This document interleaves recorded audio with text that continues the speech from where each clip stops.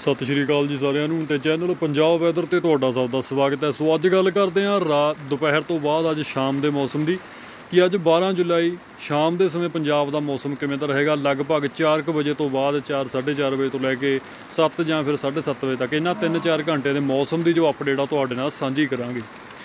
ਸੋ ਸਭ ਤੋਂ ਪਹਿਲਾਂ ਉਹਨਾਂ ਇਲਾਕਿਆਂ ਦੀ ਗੱਲ ਕਰਦੇ ਹਾਂ ਜਿਨ੍ਹਾਂ ਦੇ ਵਿੱਚ ਮੀਂਹ ਦੇ ਹਾਲਾਤ ਨੇ, ਉਸ ਦੇ ਵਿੱਚ ਆਪਾਂ ਨੂੰ ਮਾਨਸਾ ਬਠਿੰਡਾ ਦੇ ਇਲਾਕੇ ਖਾਸ ਤੌਰ ਤੇ ਇਹਨਾਂ ਜ਼ਿਲ੍ਹਿਆਂ ਦੇ ਕਈ ਭਾਗਾਂ ਵਿੱਚ ਜਾਂ ਕਹਦੀ ਜ਼ਿਆਦਾਤਰ ਹਿੱਸਿਆਂ ਦੇ ਵਿੱਚ ਸੰਘਣੀ ਬੱਦਲਬਾਈ ਨਾਲ ਜਿਹੜਾ ਮੀਂਹ ਹਲਕੇ ਤੋਂ ਦਰਮਿਆਨਾ ਤੇ ਕੁਝ ਭਾਗਾਂ ਵਿੱਚ ਚੰਗਾ ਤਗੜਾ ਮੀਂਹ ਦੇਖਣ ਨੂੰ ਮਿਲੂਗਾ। ਮਾਨਸਾ ਬਠਿੰਡਾ ਜਿਹੜਾ ਕਿ ਪਿਛਲੇ ਕਾਫੀ ਸਮੇਂ ਤੋਂ ਇਹ ਜ਼ਿਲ੍ਹੇ ਖੁਸ਼ਕ ਚੱਲੇ ਆ ਰਹੇ ਸਨ, ਤਾਂ ਇਹਨਾਂ ਜ਼ਿਲ੍ਹਿਆਂ ਦੇ ਇਲਾਕਿਆਂ ਦੀ ਖੁਸ਼ਕੀ ਅੱਜ ਕੱਟੀ ਜਾ ਰਹੀ ਹੈ ਸ਼ਾਮ ਦੇ ਕਰੀਬ ਤੋਂ, ਜਿਵੇਂ ਕਿ ਆਪਾਂ ਦੁਪਹਿਰ ਤੋਂ ਪਹਿਲਾਂ ਵੀ ਤੁਹਾਨੂੰ ਦੱਸ ਦਿੱਤਾ ਸੀਗਾ। ਕਮਿਊਨਿਟੀ ਟੈਬ ਵਿੱਚ ਪੋਸਟ ਪਾ ਕੇ ਕਿ ਮਾਨਸਾ ਬਠਿੰਡਾ ਦਾ ਨੰਬਰ ਅੱਜ ਆਪ- ਸ਼ਾਮ ਜਾਂ ਰਾਤ ਤੱਕ ਲੱਗ ਜਾਵੇਗਾ। ਤੇ ਉਸ ਦੇ ਨਾਲ ਹੀ ਬਰਨਾਲਾ, ਮੋਗਾ, ਲੁਧਿਆਣਾ, ਸੰਗਰੂਰ ਜ਼ਿਲ੍ਹੇ ਦੇ ਕਈ ਭਾਗ ਹੋਣਗੇ। ਲੁਧਿਆਣੇ ਦੇ ਭਾਗ ਹੋਣਗੇ, ਜਲੰਧਰ ਤੋਂ ਲੈ ਕੇ ਨਵਾਂ ਸ਼ਹਿਰ ਤੱਕ ਦੇ ਇਲਾਕੇ। ਸੋ ਇਹਨਾਂ ਸਾਰੇ ਇਲਾਕਿਆਂ ਦੇ ਵਿੱਚ ਬੱਦਲਬਾਈ ਨਾਲ ਅੱਜ ਮੀਂਹ ਦੇ ਜਿਹੜੇ ਅਸਾਰ ਨੇ ਅੱਜ ਸ਼ਾਮ ਦੇ ਕਰੀਬ ਬਣ ਰਹੇ ਨੇ।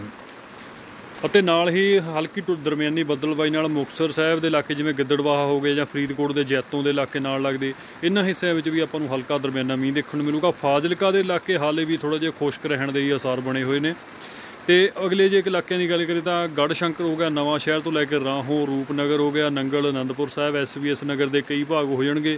ਲੁਧਿਆਣੇ ਜ਼ਿਲ੍ਹੇ ਦੇ ਜ਼ਿਆਦਾਤਰ ਹਿੱਸਿਆਂ ਦੇ ਵਿੱਚ ਮੀਂਹ ਅੱਜ ਸ਼ਾਮ ਦੇ ਸਮੇਂ ਦੇਖਣ ਨੂੰ ਮਿਲੂਗਾ। ਇਸ ਤੋਂ ਇਲਾਵਾ ਫਤਿਹਗੜ੍ਹ ਸਾਹਿਬ ਤੋਂ ਲੈ ਕੇ ਪਟਿਆਲਾ ਦੇ ਇਲਾਕੇ ਜਿਵੇਂ ਨਾਭਾ ਹੋ ਗਿਆ, ਫਤਿਹਗੜ੍ਹ ਸਾਹਿਬ ਵਿੱਚ ਅਮਲੋਹ ਦੇ ਇਲਾਕੇ ਤਾਂ ਇਹਨਾਂ ਹਿੱਸਿਆਂ ਵਿੱਚ ਵੀ ਮੀਂਹ ਦੇਖਣ ਨੂੰ ਮਿਲੂਗਾ।